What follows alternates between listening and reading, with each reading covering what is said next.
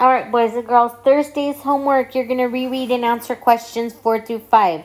The questions are not on here, um, but if you go to Tuesday's homework, you should have the questions 4 and 5 there. And then also uh, for yesterday's, same thing as you as you did yesterday when you answered questions 1, 2, and 3. Okay, so we have New Acadia.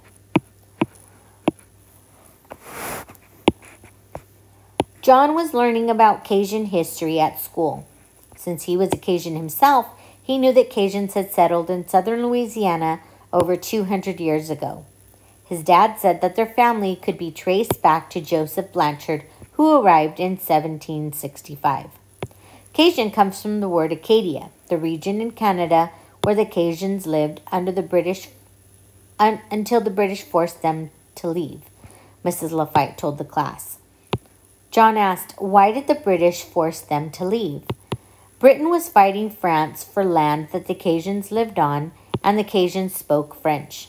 Mrs. Lafitte explained. The British assumed that the Cajuns were French and concluded that they were enemies. When the war was over, Britain had won Acadia.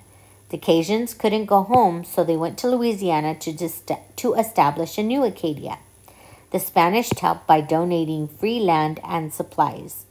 Traveling to an unknown wilderness sounded like an adventure to John, but Mrs. Lafitte said that the early days weren't easy. Many Cajuns died of smallpox and other diseases, and it was difficult to grow their crops in the new climate. Bringing their language, music, and food to this unfamiliar land made the Cajuns feel more at home. When John got home from school, his mom was in the kitchen.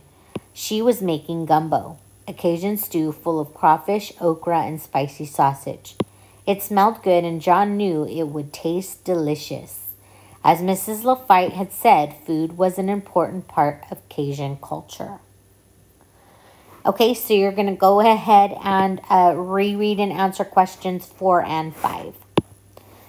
Okay, for the second part of homework, excuse me, you are going to choose 10 to complete. Okay, so go ahead and choosing 10 to complete. These are addition. So I'm going to go ahead and do number 10 as an example. So I'm going to go ahead and look to see that everybody has a partner. If they don't, I'm going to go ahead and add a 0. So we have 8 plus 7. 8 plus 7 is 15. So I'm going to put the 5 here and I'm going to put the 1 in the tens. Okay, then we have 6 plus 3. 6 plus 3 is 6. 7, 8, 9 plus 1 is 10. I'm going to put the 1 in the hundreds and the 0 down in the tens. Then 5 plus 1 is 6. Don't forget your 1 up top. That's 7. And then 2 plus 0 is 2. So your sum should be 2,705. Okay, you're going to go ahead and choose 9 more or 10 if you're doing a different one than I just did. Okay, and that is your homework for, we are on Thursday.